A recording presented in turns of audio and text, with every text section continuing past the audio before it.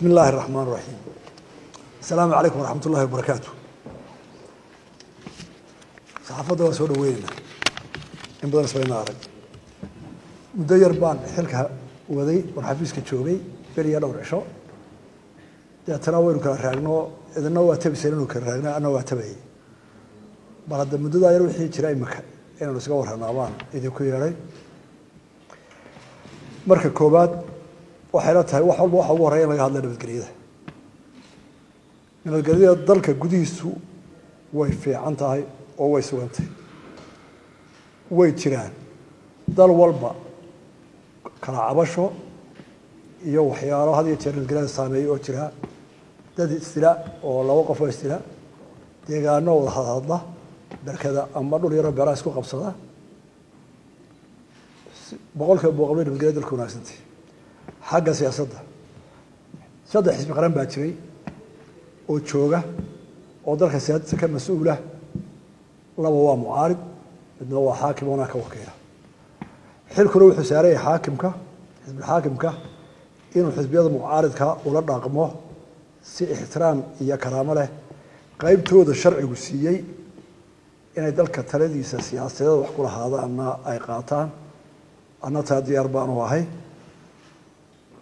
waanu wada shaqaynay oo waa is aragnay walow xisbiyada wadani oo kale aana xililka iyagu aanu aada u furfurnayn mar waa is aragnay si wanaagsan baanu ku kala tagnay. Inaanu isu soo noqono wada shaqaynana waa ku heshiinay. Diyaarra waa u nahay xisbiga u cid wada shaqayn wacamaa naga dhexaysa. Waxaanu ogol lahay tusaalahooda dhaliishooda iyo xilkooda mucarid gutaan waanu la shaqeyn. Maalintii la idhaariyey waxaa isbedelay oo dhammaaday ololihii siyaasadda ee lagu tartamayey waxaa la idhaariyey inaan dalka oo dhan madaxweyne u ahay oo xisbigii soo saaray iyo kii doortay iyo kii aanay dooranba aanu simanahay waana waxaynu ku dhisannahay dimuqraadiyadda dowladnimadu nuxurkeedu waa intaa mas'uuliyaddaas anay saarinta waa fuliyaa waanan fulinayaa bini aadam baan ahay haddii aan gafo toosin baa laygu leeyay waxaan u soo jeedinayaa dadka aan siyaasadda sharcigu u siinin inay axsaab noqdaan ama af ummadeed ay ku hadlaan. Inaanay siyaasadda ka abuurin wax aan jirin. Mujtamaceenu waa badanya. Dad badan baa dadka hogaamintooda qayb ka qaata si aynu dhisanahay mujtamaceenu culimadu qayb weyn bay ku leedahay dadka tujaarta lacagta businessmankuna cod weyn bay ku leeyihiin bulshada raidka civil societyguna cod weyn bay ku leedahay. Madax dhaqameedkuna cod badan buu ku leeyahay intaba waa gol lahado markaynu iskaashanayno inuu wax ku dhisanayno waa wanaagsan tahay waa talo badan. Waxaana lagu soo ururiyaa xisbiyada. Xisbiyaduna kolba xisbiga talada haya ayaa lagu soo ururiyaa. Waxaan leeyahay qof kastoo muddo karo hadlaya.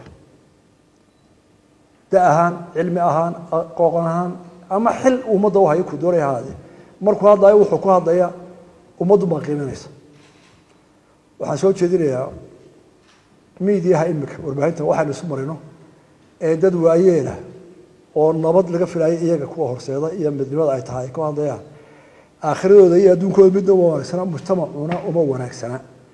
Xisbigana kagama wakiilaha xukuumadda kagama wakiilaha eh waa inay wanaajiyaan waxay ummadda dhexdeeda gudbinayaan. Intaa u dhaafi maayo odayaasha hadduu sheekh yahay hadduu madax dhaqameed yahay hadduu aqoonyahan yahay hadduu nin baacbijira yahay hadduu society yahay. Ku hadlayna waa mid qaranka u daran haada. Haddii la isdhaliilayana midaan milgaha ka baxsanaan waa inu haada. Wixii fidna iyo tafraaruq ah waa ka soo horjeednaa xil baa naga saaray inuu ka ilaahna dadka dadka fitmadooda laakiin qof walba jaaliskana waa siinaynaa. Waananu ka codsanaynaa in la wanaajiyo dadka sidii lasu keeni lahaa. Ee afrika laga dhex abuuray taa hadallada duulduulka ee maanta ka jira waan kale nabadgelyada waxaan uga soo gudbayaa innaga iyo soomaaliya. Somaliland iyo soomaaliya dhibaato ayaa jirta imika dhexdeena. Dhibaatada anagu eed kuma lihin haddaynu somaliland. Nahay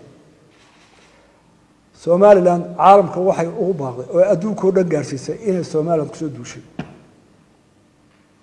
Caalamka waxaan u sheegaynaa somaliland dhulkeedii inaanay ka bixin.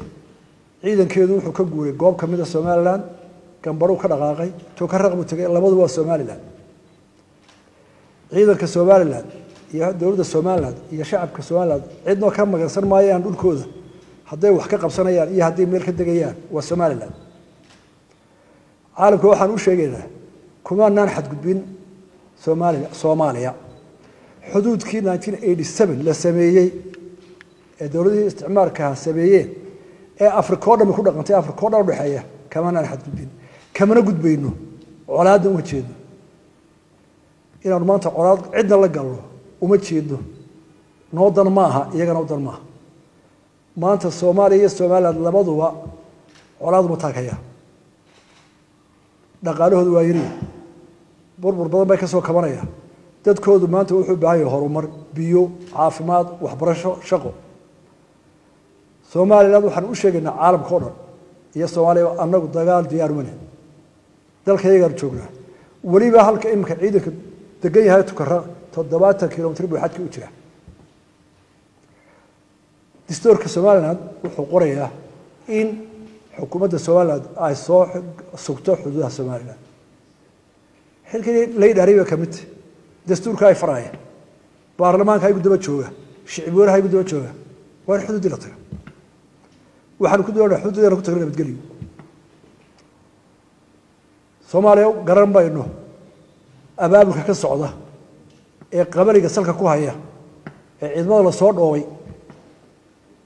wax alli iyo wax maanta dagaalkaa loo abaabulaya garan mayno hadday mid tahay suurtoobi mayse waxba yaynan isku maaragtay isugu soo wareegeysana hadal. Hadday micnuu tahay nimanka xabar joogaa inay leeyihiin annagaa muqdisho ahoo somaliland ma jirta ee waa gobollo soomaaliya ka mid a walaalow hortaajiraba waa soomaaliya waxaanu leenahay taasi mid kuu suurtoobaysa maaha. Wanaagna ka iman maayo. Haddii ay taasi kaa fikro tahay oo ay kaa go-an tahay inaad soo duusho oo tidhaa somaliland baan xoog ku muquuninaya wixii alla ka dhigay noqone difaac baanu diyaaruna dalkayga waa daafacayna somaliland dalkeeda way daafacaysaa iyadoo isu dhan oo isku duuban ayay dalkeeda daafacaysaa waxaa noo ogol xeerka caalamiga ah. Waxaa noo ogolka afrika ka dhexeeya. Waxaa noo ogol ilaahay nagu abuuray dholka ee isaga mooye aanaan cid kale ka magarsanayn waxaanu ku talinaynaa nooga talaa. Soomaaliya muqdisho ragga ka taliya waxaanu leenahay waxa inoo dara inaynu wada hadalno oo wixii inaga dhexeeyey aynu kala gurano lix sano ka hor baynu wada hadal bilownay. Hadalkaa kamaydaan ahayn daacad kamaydaan shaqayn waxaa ka dhigata waqti lumis. Haddaanu somaliland waxa naga go-ano aanu aaminsannahay wixii khilaafa aanu kala tirsanayno ama arrinayna dhex taalla inaynu ku dhamayno wada hadal.